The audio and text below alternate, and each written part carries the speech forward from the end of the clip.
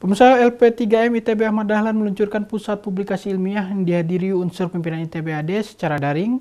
Rumah publikasi ilmiah ITB Ahmad Dahlan memberikan berbagai layanan baik bagi dosen maupun mahasiswa. Uh, saya melihat ada Dalam rangka meningkatkan jumlah dan mutu publikasi ilmiah, LP3M ITB Ahmad Dahlan meluncurkan rumah publikasi ilmiah untuk memberikan berbagai layanan baik bagi dosen maupun mahasiswa. dua kali lipat lebih Layanan tersebut di antaranya meliputi pelatihan penulisan, copy editing, pemeriksaan grammar similarity, dan pendampingan penulisan karya ilmiah.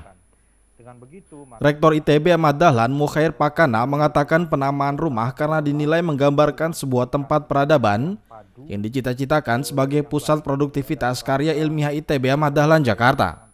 Ah, pusat-pusat keunggulan tentu kalau kampus ya berbasis riset, ya berbasis riset uh, bagaimana karya-karya kita itu mampu mencerahkan masyarakat, uh, bisa mendesiminasi uh, ke masyarakat ya apa apa riset-riset kita sehingga bisa dimanfaatkan.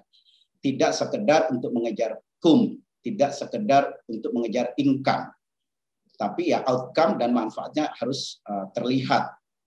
Ya karena sering kali ada yang mengatakan banyak guru besar, banyak guru, apa dokter-dokter di sebuah kampus, tapi tidak mampu mengangkat masyarakat.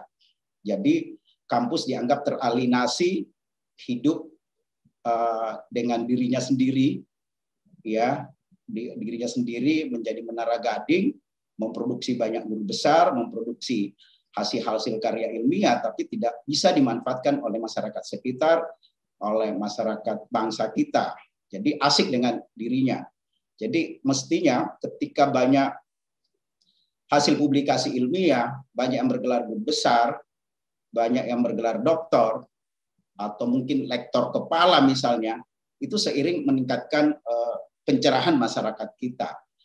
Bangsa kita akan bisa maju kalau mereka semua yang kalangan terdidik, yang punya karya ilmiah yang hebat-hebat itu memberikan kontribusi merdu banget Lebih lanjut, Rumah Publikasi Ilmiah juga memberikan apresiasi bagi dosen yang telah memberikan publikasi karya ilmiah mereka pada jurnal bereputasi internasional melalui Publi Award dan Publi Expo.